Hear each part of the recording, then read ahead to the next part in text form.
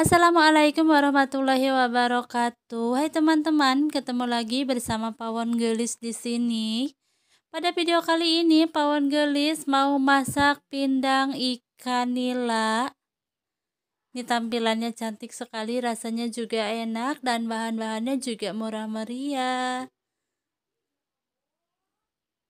Kuah kuningnya, hmm, sedap sekali ditambahkan dengan tomat, irisan daun bawang dan cabai rawit ini yang rasanya sangat segar sekali. Di sini Pawon Gelis sudah menyiapkan bahan-bahannya. Di sini ada tiga ruas jari kunyit, ada cabai rawit, cabai merah keriting, ada bawang putih, bawang merah, jahe, dan ini ada garam sama micin ya. Dan untuk bumbu cemplungnya di sini sudah ada serai, daun salam, asam jawa, dan gula merah. Dan di sini sudah ada bumbu lainnya, ada lada bubuk sama kadu bubuk. Oke, semua bumbu sudah dihaluskan. Sekarang kita tumis semua bumbu yang sudah dihaluskan tadi. Ini tadi aku blender aja nggak jadi diulek karena ya diulek-ulek capek lagi. Mendingan di blender aja. Sekarang kita tumis bumbu halus hingga harum. Setelah bumbu halusnya harum jangan lupa diaduk-aduk ya biar nggak gosong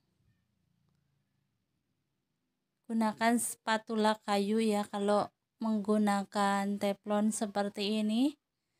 Kalau pakai spatula besi nanti teflonnya rusak. Oke setelah harum sekarang kita tambahkan sedikit air untuk melarutkan. Tambahkan sedikit air Dan sekarang tambahkan bumbu lainnya daun salam, asam jawa, gula merah dan serai. Serainya jangan lupa digeprek. Tambahkan juga lengkuas. Di sini aku menambahkan cabai rawit utuh. Dan setelah mendidih sekarang kita tambahkan aja langsung ikannya ini ikannya aku susun di atas pancinya ya. Ini kebetulan ikan ikannya kecil-kecil. Ini ikan nila atau ikan apa ya nggak tahu dan sekarang tambahkan lagi airnya.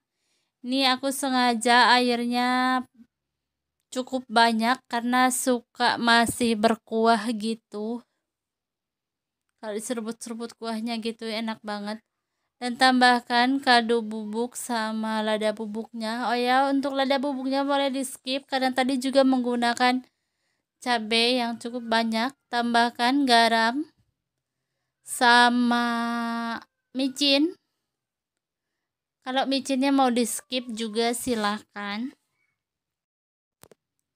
aduk perlahan agar bumbunya larut ya agar merata karena nanti kalau ikannya udah mateng diaduk-aduk nanti ikannya hancur. Sekarang kita tutup masak sampai kurang lebih 30 menit. Dimasak sebentar aja sebenarnya ikan udah matang tapi aku mau agak lunak gitu sama tulangnya. Kita masak dengan menggunakan panci ditutup. Oke ini sudah matang sekarang kita matikan aja kompornya dan diamkan sampai sampai dingin ya. Karena pancinya ini kalau didiamkan ini masih tambah lunak. Oke ini udah dingin dan sekarang kita hidangkan. Oke seperti ini hasil akhir dari pindang ikan nila kita ini warnanya cantik sekali ya. Aromanya juga sangat harum. Selamat mencoba ya teman-teman. Ini enak banget, praktis dan ekonomis. Enak banget di makan pakai nasi hangat. Di sama cabai rawit digigit-gigit gitu.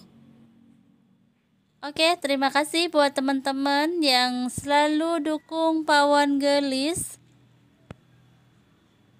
Dan jangan lupa di like, komen, dan subscribe. Dan terima kasih. Wassalam.